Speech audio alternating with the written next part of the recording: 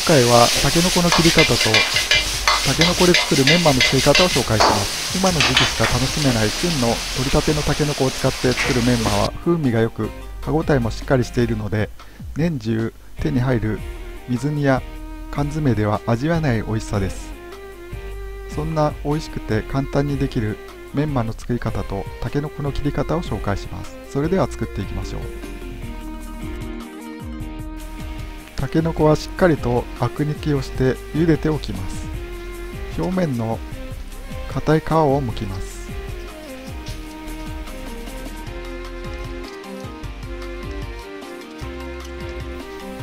お先の方は柔らかいので皮は剥かなくて大丈夫です。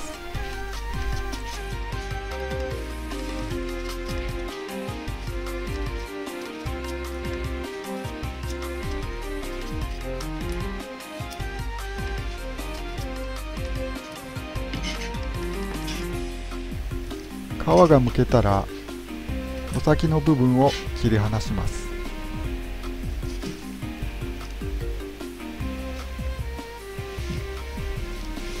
それを縦半分にカットします。下の部分も縦半分にカットします。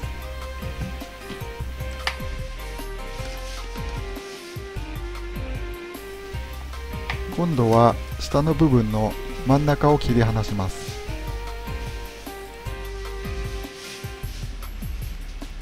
その割れ目をさらに切り離します。もう一つも同じようにカットします。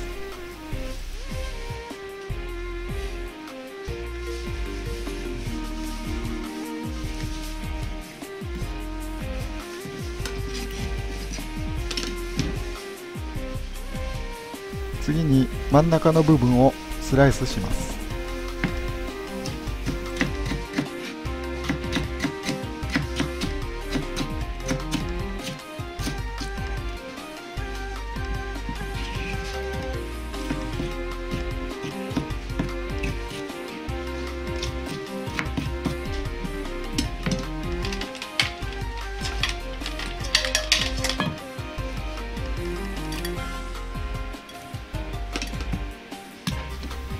後の塊は料理によって切り方を選んで使ってください。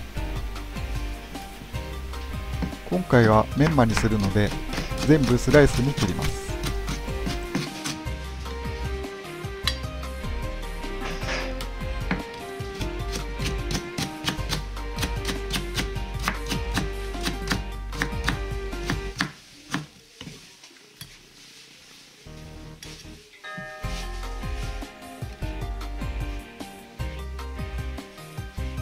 お先は内側を上に向けてそのまま縦にスライスします。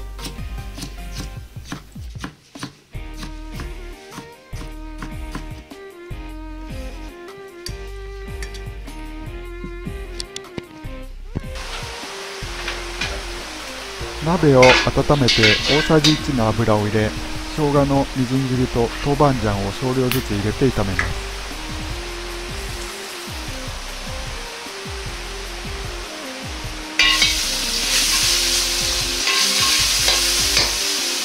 そうしたらタケノコを入れ炒めます。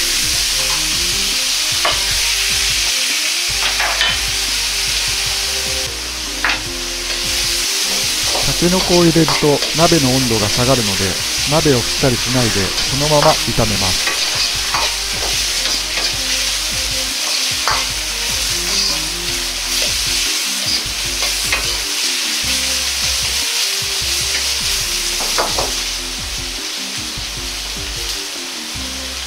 鍋の温度が熱くなってきたらしっかり混ぜたりして炒めていきます。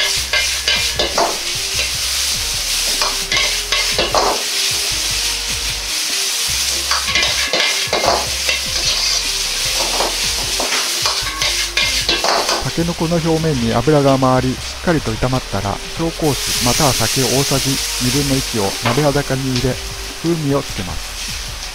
醤油を大さじ2くらい入れ香ばしくなるようにして炒めます。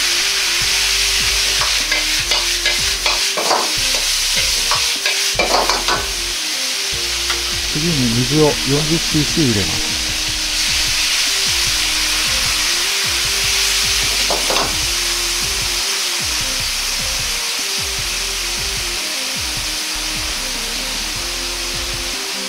砂糖を小さじ1入れます。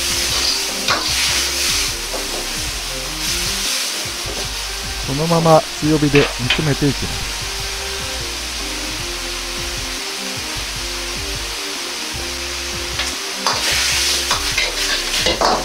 しっかりとタレが絡むように混ぜ合わせます。汁が煮詰まってきて少なくなってきたのを確認します。最後にごま油を入れることで汁が完全に乳化されていき香りも良くなります。